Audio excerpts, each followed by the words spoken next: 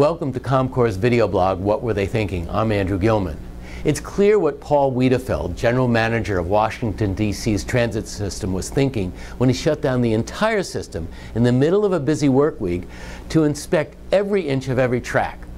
Wiedefeld was thinking safety first, particularly for the nation's second largest transit system, one that has had accidents and fatalities that have shaken commuter confidence. DC officials and commuters grumbled a bit, but they got through the day. Contrast what Wiedefeld was thinking and did and what happened with other crises, whether it was the Germanwings plane crash or the BP well blowout. Those are examples of accidents that occurred because responsible people didn't take action. Want a few takeaways from the DC Metro shutdown? One, swift, decisive action and direct communications may be inconvenient, but it may be the best way to prevent accidents and a much more expansive crisis. Two, stakeholders want leadership in a crisis. Wiedefeld weighed his options and made decisions.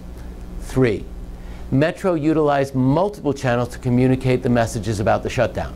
Think of it, mass transit riders get info in all sorts of ways, so why not use websites, text messages, traditional news media, radio, TV, and print, and Twitter?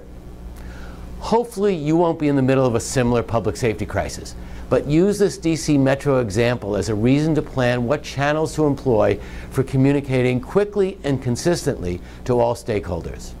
I'm Andy Gilman in Washington. Follow us on Twitter and Facebook.